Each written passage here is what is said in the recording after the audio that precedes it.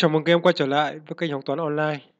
Trong video hôm nay, chúng ta tiếp tục giải các bài tập trong sách và bài tập của môn toán lớp 2. Các em mở sách và bài tập của môn toán lớp 2 tập 2. Bài 90. Thừa số tích.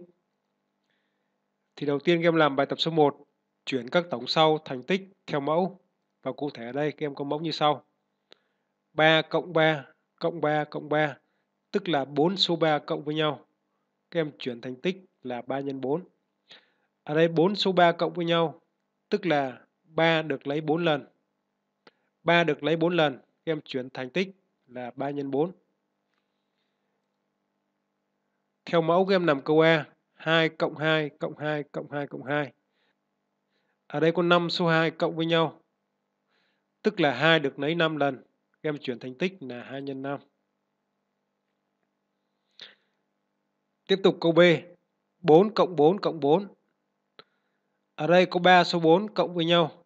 Như vậy 4 được lấy 3 lần. Em chuyển thành tích là 4 x 3. Tiếp theo là câu C. 5 cộng 5 cộng 5 cộng 5. 4 số 5 cộng với nhau. Tức là 5 được lấy 4 lần. Các em chuyển thành tích là 5 x 4. Câu D. 7 cộng 7 cộng 7 cộng 7 và cộng 7. Ở đây có 5 số 7 cộng với nhau, tức là 7 được lấy 5 lần, các em chuyển thành tích là 7 x 5. Sang câu E, 8 cộng 8 cộng 8, 3 số 8 cộng với nhau, 8 được lấy 3 lần, như vậy các em chuyển thành tích là 8 x 3.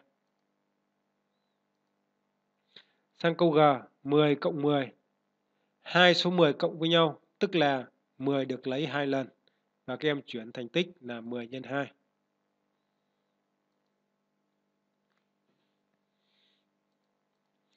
Tiếp tục các em sang bài tập số 2, chuyển các tích thành tổng, các số hạng bằng nhau rồi tính theo mẫu. Mẫu các em chuyển tích 6 x 3 thành tổng của 3 số hạng bằng nhau và cụ thể là bằng bằng 6. 6 x 3 tức là 6 được lấy 3 lần. Như vậy các em chuyển thành tổng là 6 cộng 6 cộng 6. 6 được lấy 3 lần. Các em lấy 3 số 6 cộng với nhau. 6 cộng 6 bằng 12. 12 cộng với 6 bằng 18. Như vậy là 6 x 3 bằng 18. Vậy 6 x 3 bằng 18. Câu A 9 x 2. 9 x 2 tức là 9 được lấy 2 lần. Các em chuyển thành tổng là 2 số 9 cộng với nhau. 9 cộng 9 bằng 18. Vậy 9 x 2 bằng 18. 9 x 2 bằng 18, ngược lại 2 x 9 có bằng 18 không? Ở đây 2 x 9 tức là số 2 được lấy 9 lần. Như vậy các em lấy 9 số 2, các em cộng với nhau. 9 số 2 cộng với nhau và kết quả bằng 18. Như vậy 2 x 9 cũng bằng 18.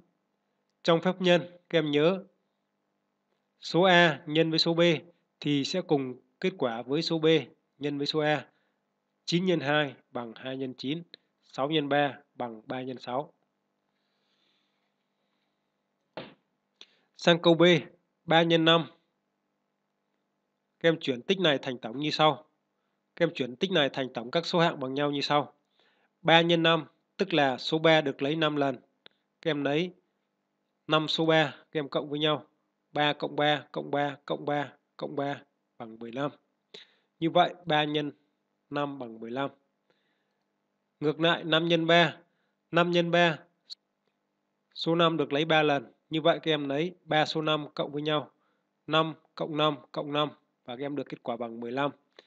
Như vậy 5 nhân 3 cũng bằng 15, tức là 3 nhân 5 bằng 5 nhân 3. Các em nhớ trong phép nhân A nhân B bằng B nhân A.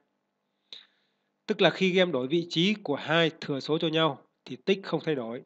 3 x 5 bằng 5 x 3, 2 x 9 bằng 9 x 2.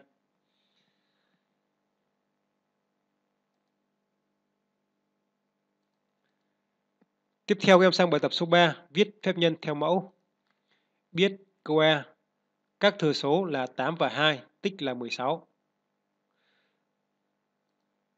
Ở đây các thừa số là 8 và 2, tích là 16. Như vậy các em sẽ viết thành phép nhân như sau. 8 x 2 bằng 16. 8 là thừa số, 2 là thừa số và 16 là tích.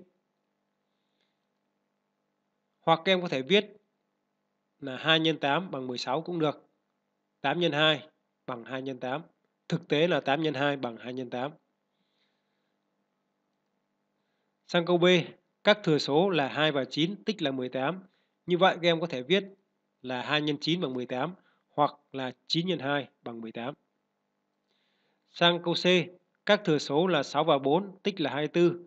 Như vậy các em có thể viết thành tích là 6 x 4 bằng 24 hoặc các em có thể viết là 4 x 6 bằng 24. Thì như vậy video hôm nay xin được kết thúc ở đây. Cảm ơn các em đã dành thời gian để theo dõi video. Nếu cảm thấy video chia sẻ là hữu ích thì các em vui lòng bấm nút like và nút share để chia sẻ cho nhiều người cùng xem. Và đừng quên bấm vào nút đăng ký kênh. Nhớ nhấn vào biểu tượng hình cái chuông để nhận các video mới nhất từ kênh học toán online. Đừng quên để lại bình luận của mình ở cuối video để đóng góp và xây dựng cho kênh học toán online ngày một phát triển và hoàn thiện hơn. Xin chào và hẹn gặp lại các em trong các video kế tiếp.